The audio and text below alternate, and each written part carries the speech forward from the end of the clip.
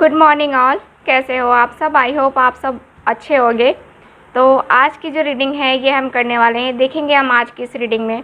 आपको पता ही है कि डेली एंजल गाइडेंस है तो डेली एंजल गाइडेंस हम देखने वाले हैं। चलो करते हैं रीडिंग को स्टार्ट करते हैं स्टार्ट प्लीज़ गाइड कीजिए।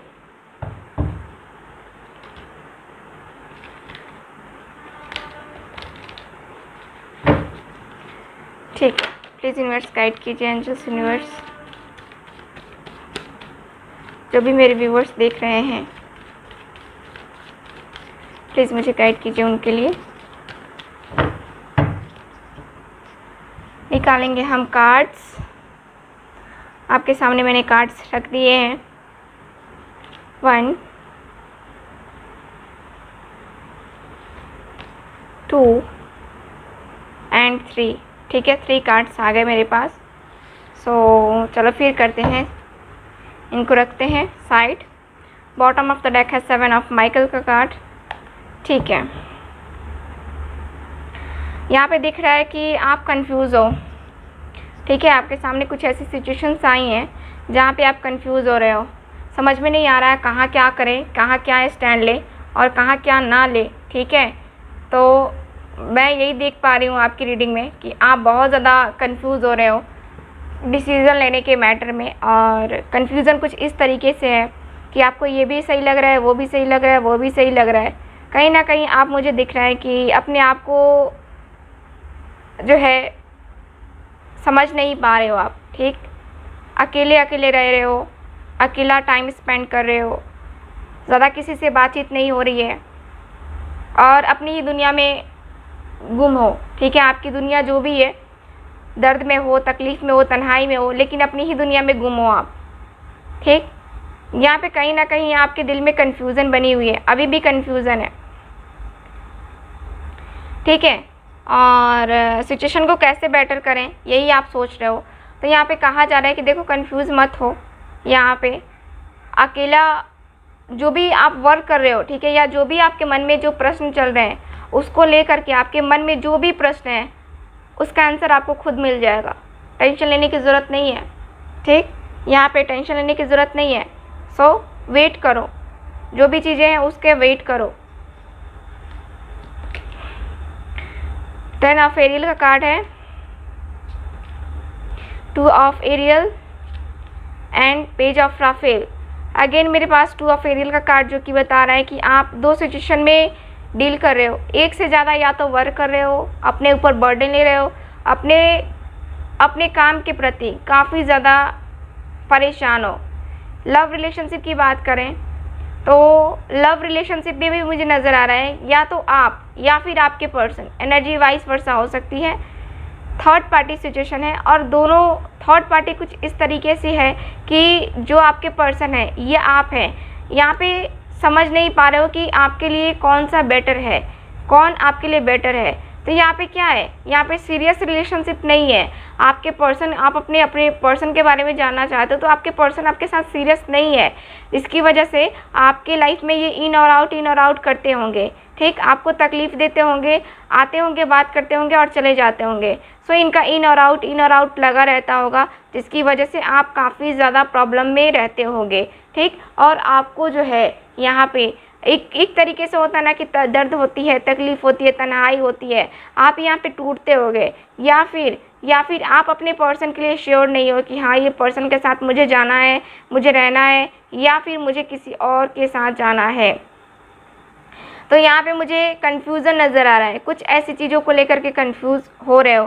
तो यहाँ पे कार्ड्स यही बता रहे हैं कि आप जो है, अगर दो लोगों के साथ डील कर रहे हो सो मत करो ऐसा, ठीक है? कोई एक पर्सन के साथ डील करो और वो सीरियसली डील करो, ठीक? यहाँ पे टाइम पास करने की ज़रूरत नहीं है। टाइम पास करने से किसी का दिल टूटेगा, है ना? किसी को तकलीफ़ होगी। तो यहाँ पे ये कहा जा रहा है आपको। आपके कार्ड्स में यही नज़र आ रहा है फ़िलहाल मुझे, ठीक? और यहाँ पे ऐसा भी है कि पेज ऑफ़ राफेल यहाँ पे दिख रहा है कि आप अपने पर्सन के लव का वेट कर रहे हो। आप अपने पर्सन के प्रपोज़ल का वेट कर रहे हो। उनके कॉल का मैसेज का वेट कर रहे हो। लगातार वेट कर रहे हो। आप जानते हो, आप चाहते हो कि आपकी कॉल, आपका पर्सन जो है आपको कॉल करे, मैसेज करे, किसी तरीके से जो है उनसे आपका कॉन्टैक्ट बने। आपकी चाहत ये हो रही है। लेकिन क्या हो रहा है कि आपके पर्सन जो है आपकी तरफ़ मूव नहीं कर पा रहे हैं, आपकी तरफ़ कोई एक्शन नहीं ले पा रहे हैं, जिसकी वजह से आपको लग रहा है कि पता नहीं क्या होगा। ये बंदा चाह चाहता क्या है या चाहती क्या है? है ना? क्यों नहीं कांटेक्ट कर रहा है? क्यों नहीं कांटेक्ट कर रही है? सो so, यहाँ पे मुझे इस तरीके की एनर्जी फील हो रही है और इसके साथ ही दिख रहा है। देखो आपको एंजल्स बता रहे हैं कि आपकी लाइफ में लव रिलेशनशिप में यहाँ पे सिचुएशन चेंज होने वाली है। यहाँ पे सिचुएशन चेंज होगी आपको वेट करना चाहिए। ठीक? आपके लव लाइफ में यहाँ पे चेंजेस तो आने वाले हैं। सो आप उसके लिए तैयार रहो। यहाँ पे मैसेज आ सकता है आपके पर्सन का कॉल आ सकता है आपके पर्सन का। आपको वेट करना चाहिए। इतनी जल्दी कोई डिसीज़न नहीं लेना चाहिए या इतना जल्दी जो है ना हारना नहीं चाहिए अपनी ज़िंदगी से अपने लव रिलेशनशिप से। ठीक? तो आ, मुझे दिखता है कि आपको जो है थोड़ा सा थोड़ा सा रिलैक्स फील करना चाहिए। थोड़ा सा रिलैक्स फील करो। ठीक है? और उसके बाद से आप जो है अपने सिचुएशन में यहाँ पे ढल जाओगे, ठीक है? क्योंकि आपका लव रिलेशनशिप यहाँ पे स्ट्रांग होने वाला है, ठीक? टेन ऑफ़ एरियल का भी कार्ड है, जो कि मुझे बताता है कि आपकी लाइफ में बहुत अच्छे चांसेस आने वाले हैं। करियर से रिलेटेड बिज़नेस से रिलेटेड बहुत बड़ी अपॉर्चुनिटी आने वाली आने वाली है आपको। और आपके सामने कुछ ऐसी भी चीज़ें होंगी, ठीक है? जिसको आपने सोचा नहीं होगा। कि हाँ मेरी ज़िंदगी में इतना बड़ा चेंज आएगा या फिर इतना बड़ा मुझे प्रोजेक्ट मिलेगा अपने अपने बिज़नेस के लिए या फिर अपने करियर के लिए या फिर अपने जॉब में इतना ज़्यादा बड़ा सैलरी का पैकेज मिलेगा। आपने कभी सोचा नहीं होगा लेकिन फिर भी आपको वो मिलेगा।